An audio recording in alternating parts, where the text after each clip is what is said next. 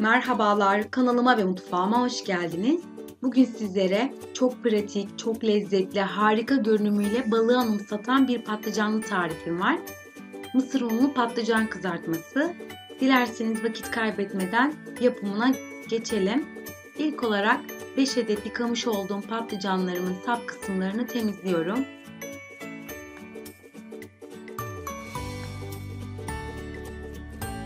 Patlıcanların sap kısımlarını çok derin kesmeyelim.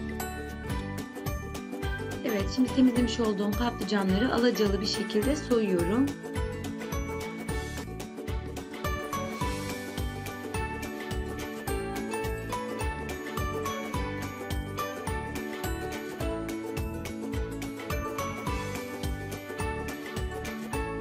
Evet, soymuş olduğum patlıcanlarımı uzanlamasını önce ikiye bölüp ardından 6 parçaya bölüyorum.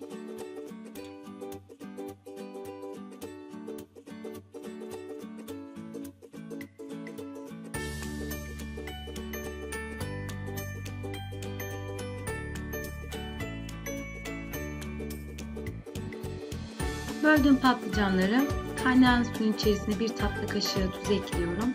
Ardından patlıcanlarımı içerisine bırakıyorum. Patlıcanlarımı 5-6 dakika boyunca haşlayacağım. Ara ara çevirerek patlıcanlarımı haşlıyorum.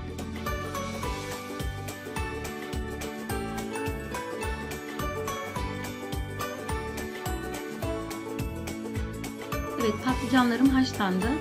Şimdi patlıcanlarımı bir süzgecin içerisine alıyorum. Patlıcanlarım suyunu süzdü ve soğudular. Şimdi patlıcanlarımı buğulayacağım mısır ununa. Ama onun öncesinde 2 adet yumurtamı çırptım. İçerisine yarım çay kaşığı kadar tuz ilave ettim. Ardından patlıcanımı önce yumurtaya ardından mısır ununa buluyorum.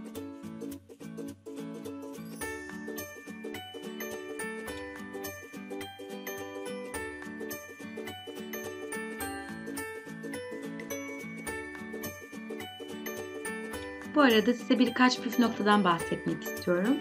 Patlıcanlarımızı haşlarken çok dikkat edelim. Eğer çok haşlarsak eriyip gidecektir. Patlıcanları kızartırken de kızgın yağda kızartalım. Böylelikle yağ çekmesi azalacaktır.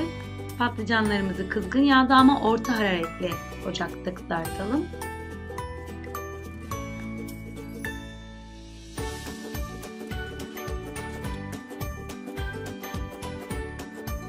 Tüm patlıcanlarımı bu şekilde mısır ununa bulayıp ardından kızgın yağda kızartacağım.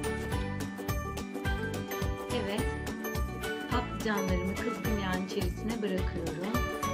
Görmüş olduğunuz gibi patlıcanlarımı kızgın yağın içerisine dilimlerine ayırarak bırakıyorum.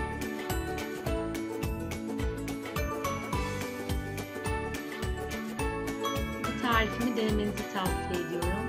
Beğeneceğinizi de umuyorum. Gerçekten hem görüntüsüyle hem lezzetiyle balığı andıran bu lezzeti kaçırmamanızı tavsiye ediyorum.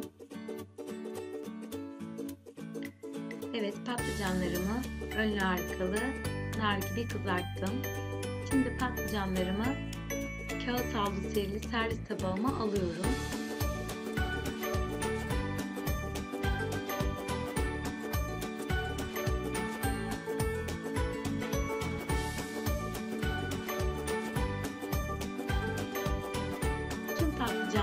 Şekilde önlü arkalı kızarana dek kızartacağım.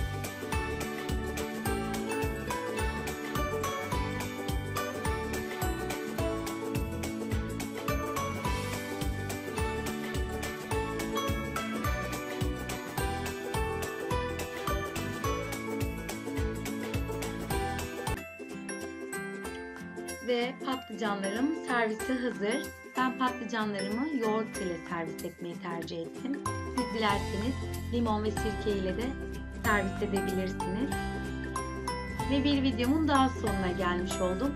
Beni izlediğiniz için teşekkür ediyorum. Videomu beğenmeyi ve kanalıma abone olmayı unutmayın. Bir sonraki videoda görüşmek üzere. Hoşçakalın.